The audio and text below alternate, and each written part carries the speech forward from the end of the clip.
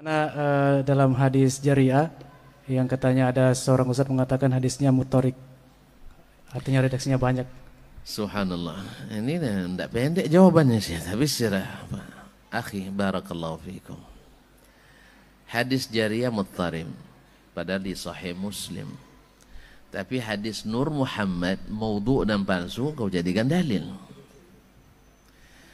Oke lah hadis jariah mutarim tapi ada kurang dari 2000 dalil Al-Quran dan Sunnah yang menunjukkan makna daripada hadis jariah. Kenapa antum fokus pada hadis jariah saja? Paham? Apa hadis jariah Ustaz? Ah, apa hadis jariah orang tak tahu ni. Yaitu hadis tentang pertanyaan Nabi ke seorang hamba sahaya. Aina Allah? Di mana Allah. Coba lihat kaum muslimin. Ini tidak adil orang menilai. Hadis disahihkan oleh Imam Muslim. Kemudian disetujui oleh Imam Al-Qadhi disetujui oleh Imam An-Nawawi, disetujui oleh Imam Al-Qatt Ibn Al-Qattan Al-Fasi dan dan dan, dan seterusnya deretan ulama-ulama besar hadis. Tiba-tiba datang ahli hadis kontemporer ya mengatakan hadisnya mut muttarib. Lalu dia berdalil kepada perkataan Ali bin Abi Talib. Coba bayangkan. Perkataan Ali bin Abi Talib tidak bersanad tapi bersunad. Tidak paham. Ya, bagus tidak paham. Ini ada sanadnya, disahihkan oleh Imamul Muhaddisin, Imam Muslim Ibnu Hajjaj. Sah? Bersanad. Jelas sanadnya. Yang ke, yang ini riwayat dari Ali bin Abi Thalib. Kan Allah. Allah ada. Jelas?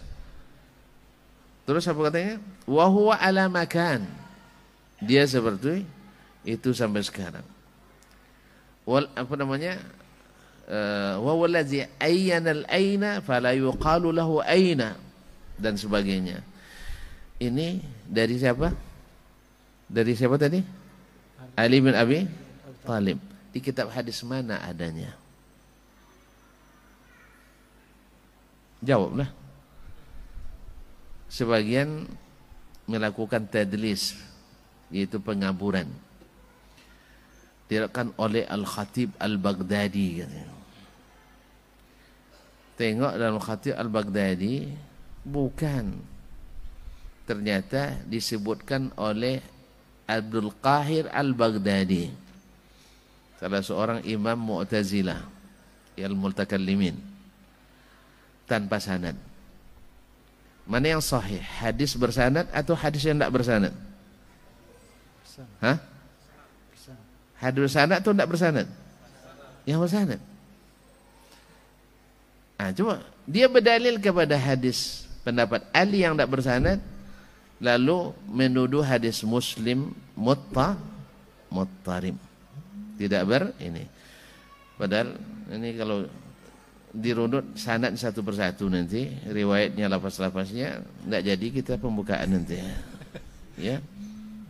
Jadi Imam Muslim ketika meriwayatkan hadis ini bukan dia tidak bukan dia tidak tahu lafaz ini lafaz itu dalam riwayat sanad ini sanad itu riwayat ini tapi ketika dia pilih, dia sudah tahu bahwa hadis itu adalah sah, sahih.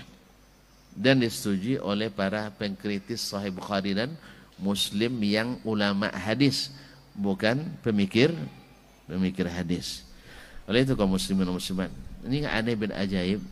Ada hadis palsu, hadis-hadis palsu sesuai dengan nafsu diikuti. Hadis-hadis sahih yang tak sesuai dengan pikiran lalu diparkirkan. Akibat apa? Karena tidak sesuai dengan pikiran. Allahul musta'an. Ini namanya al-kailu bimikyalain wal waznu bimizanin.